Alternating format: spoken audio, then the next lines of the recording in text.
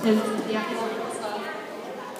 no one really believed us when we said we were going to play ukuleles, but here we are, and we're going to play ukuleles.